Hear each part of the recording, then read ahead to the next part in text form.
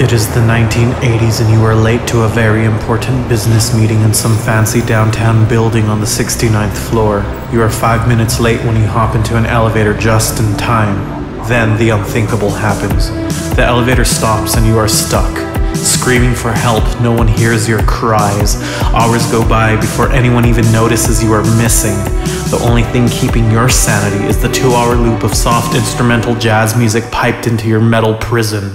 That music is known as Muzak. If it was the 1970s, you'd probably hear Muzak everywhere at the mall, at the airport, the grocery store, even in commercials and on the radio. Radio had specific stations known as beautiful music stations that would play these soft jazz instrumentals. Nowadays, all we have is just literally pop songs with 808 drum machines and lyrics about drugs and fucking wherever you go. But it wasn't always like this. In this video, I will explain the history of the brief music phenomena, which changed aural pleasures for years to come. In the 1910s, Chief Signal Officer of the US Army, George Owen Squier, invented something known as multiplexing, which allowed for multiple analog signals to be carried in one stream and be delivered to various locations. With this, multiple telephone calls could be transferred all at once. Then in the 1920s, George Owen Squier thought to himself, if I can transfer multiple audio streams over wires, then I can transfer music over wires and charge people. So he did that very thing and invented Spotify of the 1920s, only then it was called wired radio. Then in the 1930s, people weren't as interested in transferring audio over wires, mostly because radio technology was getting better and mostly cheaper. People were listening to music without wires. Then in 1934, while sick and dying of pneumonia, George Squier changed the name of Wired Music Company to Muzak because he really liked the film manufacturer Kodak. After George Squier died, his company was sold to Warner Brothers in 1937, where the company shifted its focus from wired music to deliver music to commercial clients such as businesses and factories. Then, during the whole World War II thing, the company was bought by entrepreneur William Benton, who worked his way through the advertising industry and negotiated deals to make a bunch of educational Disney films in the 40s. He also published Encyclopedia Britannica, which is like Encyclopedia Dramatica but for old people. During this time, Muzak recorded tens and thousands of original recordings for businesses. But everything changed when company researchers noticed that Muzak apparently made workers happier and more productive, especially during times of war. This was known as stimulus progression, which offered 15 minute blocks of background music to give workers a sense of forward movement and relax workers. This was also followed by 15 minutes of silence, mostly because someone had to turn the record over to hear the next 15 minutes. But that analog vibration was so warm and quality, said someone who doesn't know what they're talking about.